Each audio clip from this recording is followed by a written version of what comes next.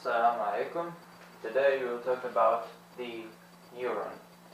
Previously we talked about the central nervous system, the peripheral nervous system and the autonomic nervous system as we addressed the nervous system as whole. So today we will talk about the unit of structure and function of the nervous system which is the nerve cell or the neuron. So I'm going to draw it.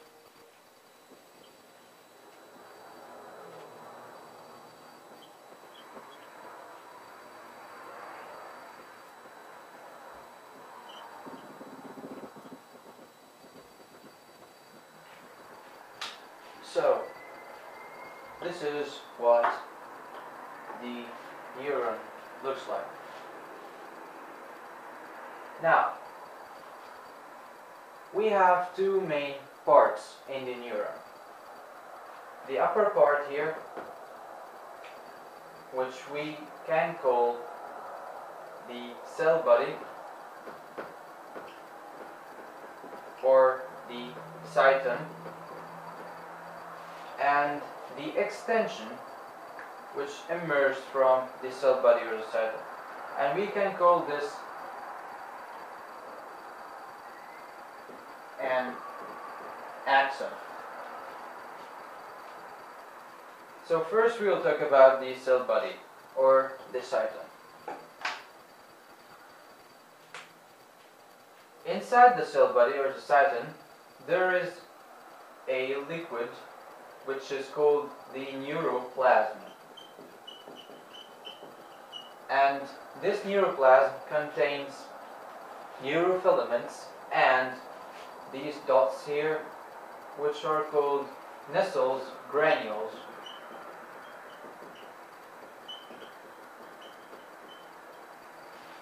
Nissls granules store the food inside the uh, nerve cell or stores the food for the nerve cell. And they are unique for the nerve cells. It means that they are not found in other types of cells. And of course, this is the nucleus. And we have these extensions here, which are called dendrites. And these dendrites extends from the cell body in order to connect this neuron with the next neuron. Now, a very important note is that the uh, cyton of the neuron doesn't contain centrioles. It contains all the other organelles which can be found in a normal animal cell, but it doesn't contain the centrioles. The centrioles are used in the process of cell division. And by the absence of centrioles in the neuron, it means that it doesn't have the capability of cell division. So, why doesn't the neuron have the capability of cell division? Well, the point is simple. From the moment you are born till the moment you're dead, the organs inside your body doesn't increase or decrease. For example, you don't gain an extra finger. And so, each organ needs a certain amount or number of nerve cells that connect this organ to the central nervous system. So there is no need of adding more nervous uh, cells and that's why uh, the centrioles are absent here. For example, if you have a PC and you want to connect a hard drive, then you get a data cable and you connect this data cable to the hard drive and to the motherboard so that the hard drive can be connected to the central processing unit which is the processor inside the motherboard. If you have two hard drives you will need two cables but if you have only one you will need only one cable and there's no need for the second cable. And if you are a Mac you don't need to plug in anything. So anyways it's the same idea. So that's why they don't have the capability of cell division. Next, the axon. The axon is a cytoplasmic extension from the cell body, as you can see, and the axon is called the nerve fiber. And this nerve fiber is used to transmit the nerve impulse from one nerve, from one nerve cell to another cell. So, the axon is very important. It has a very important role in the transmission of nerve impulses through the nerve cells. Now, in order to enhance the capability of the axon in transmitting the nerve impulse, it must be insulated so that the nerve impulse can only move through the axon and it doesn't spread outside so its speed will decrease. Um, this insulator is called the myelin sheath.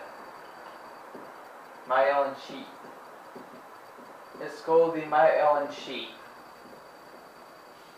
This myelin sheath is a proteinic substance produced by some cells on the axon and they are called Schwann's cells.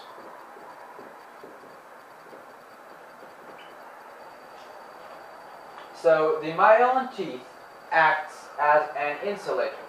But actually not all the axons are covered by the myelin sheath. And in the same neuron we can see that it's interrupted at some points. And these points are called Ranvier's nodes.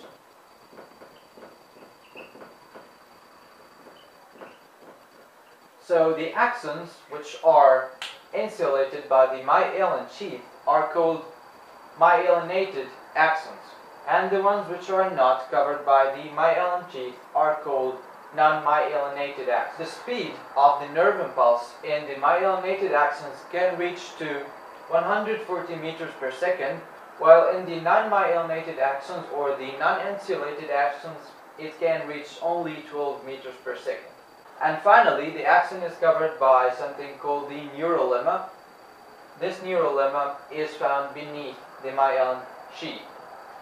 And as we go downwards, there are these extensions which come from the axon, and they are called the terminal arborizations.